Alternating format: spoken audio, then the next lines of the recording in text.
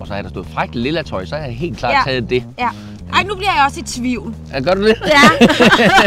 måske der er noget meget... Der er måske noget meget stærkt over sådan en kvinde i fræk lysrødt. Hvad vil du helst? Spise det samme hver dag i resten af dit liv, eller spise lige hvad du vil, men hver måned skulle du også spise en sandwich med lort i? Hvad vil du helst? Have ben lige så lange som dine fingre, eller fingre lige så lange som ben? Det er et af de mange dilemmaer, man kan blive stillet i lejen Hvad vil du helst, som er enormt populær på YouTube og generelt blandt venner. Men, hvordan er det lige med Claus og Christiane? Det kan du se lige her. Hvad vil du helst? Gå i frækt lyserødt tøj resten af dit liv? Eller altid have sokker i sandalerne, som man kan se? Øh... Ja, jeg vil helst have sokker i sandalerne. Du vil ikke gå lyserødt tøj? Jamen, jeg stusser også ved det der frækt lyserødt tøj. Nå, ja. Altså, jeg håber ikke, at jeg... Altså, nej, jeg synes, at det er noget... Hvis jeg skulle rende rundt og være en ældre dame med frækt lyserødt tøj, det tror jeg ikke er mig. Jeg tror også, det spørgsmål det er mere øh, relevant for dig end, end nødvendigvis for mig. Jeg har ikke så frygtelig meget lyserødt tøj, og slet ikke frækt. Jeg har faktisk et par lyserøde skjorter, ja. øh, som, som er meget cool sådan set. Lilla er jo din yndlingsfarve. Lilla er min yndlingsfarve, så har der stået frækt lilla tøj, så har jeg helt klart Ja. taget det. Ja. Ej, nu bliver jeg også i tvivl. Ja, gør du det? Ja.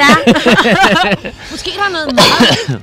Der er måske noget meget stærkt over sådan en kvinde i fræk lyserødt. Ja. Ja, ja det er der Jeg faktisk. kan vildt godt lide lyserød. Ja, men... Altså lyserød var jo faktisk vist nok en drengefarve til at starte med, altså way back. Nå, Ja. ja. Nå, Så- men jeg, jeg, tager, jeg tager sandalerne. Jeg tager sokker i sandalerne. Jeg er ikke meget for grund i lyserødt tøj.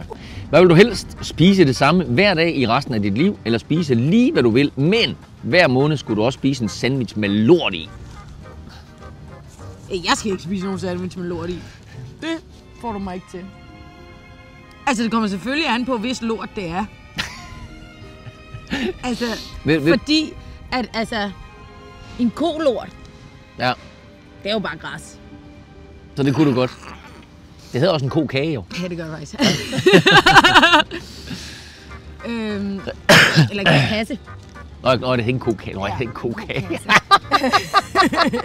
det er en kokage. Det er en kokage. Det er en en kokage. Det er så kokage. Det er godt, jeg har dig. øhm, ej, jeg tror, at øh, jeg vil hellere spise det sammen. Nej, altså, ja, men ved du hvad? Nej, jeg tager sgu lorten. Nej, jeg tager det der med resten af dit liv. Så Ja. tager jeg sushi.